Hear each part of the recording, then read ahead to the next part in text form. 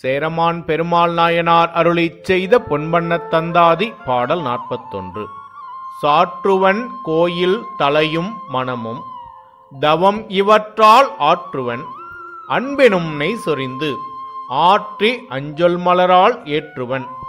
ஈசன் வந்து என் மனத்தான் என்று எழுந்தலரே தூற்றுவன் தோத்திரம் ஆயினவே இனிச் சொல்லுவனே.